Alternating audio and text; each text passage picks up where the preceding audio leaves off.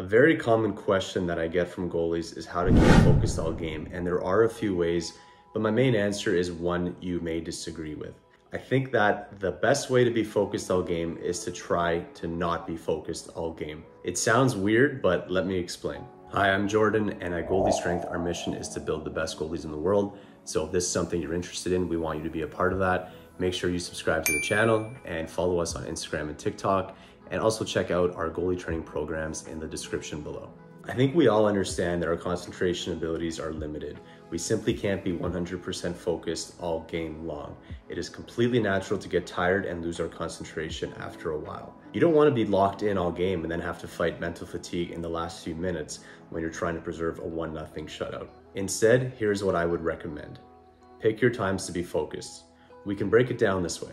Puck is in your zone, be 100% focused. Puck is in the other team's zone, relax a little bit, focus on breathing slowly, relax your body, follow the play, but take it down to about 50 or 60%. You should be ready for a random shot on net, but you don't need to be in any kind of ready stance. When the whistle goes, relax completely as much as you can, go for a skate, make yourself laugh, think about what you're gonna eat after the game, just take your mind off of the game so that you can relax and recharge.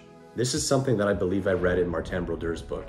He said that he tried to relax as much as possible during breaks and play because it allowed him to be more focused during the game. That made a lot of sense to me, and obviously it worked really well for him. This advice might seem a little bit counterintuitive, but it's just my opinion. And if you're someone that's having trouble staying focused, it could help you. It may be something that you want to try out. I have two other ideas for staying focused during games. The first one is meditation. Countless studies show that meditation can improve your ability to concentrate. Meditation is actually really easy to do because there's no way to do it wrong. You just find a quiet place and you sit for 5, 10, 15 minutes, start wherever you want, and you just sit there. You don't think about anything, but you also don't think about not thinking about anything. You just sit there. If thoughts come into your head, you accept that. You don't worry about it. You just accumulate this time meditating. And the more you do it, the easier it gets. Even daily for five minutes can make a big difference. The second idea I have is a trick I used to use when I was younger and I would use it when the puck was in the other end for a while and I wasn't getting shots and I needed to stay focused. We all know how hard it is as a goalie to stay focused when we haven't seen a shot in a long time. So this is a really helpful way to keep us involved. You can do the play-by-play -play of the game in your head or out loud. You call out what is happening on the ice as it happens, as if you're a play-by-play commentator on TV. This is a nice trick that can keep us focused when we're not directly involved in the action.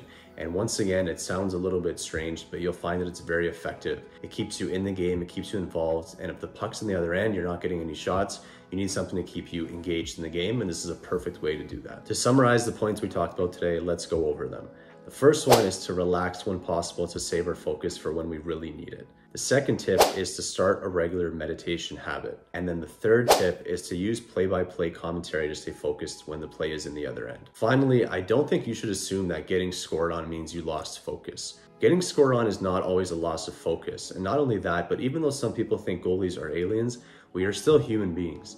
That means we make mistakes and sometimes we lose focus. We're not robots, we can't be 100% locked in all game long. Sometimes we start thinking about something else and our concentration drifts. And guess what? That is completely normal.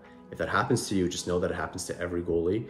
You should just move on and focus on the next shot. It would be awesome if you could share this video with a goalie friend. Make sure to comment what you want to see next and please subscribe to the channel.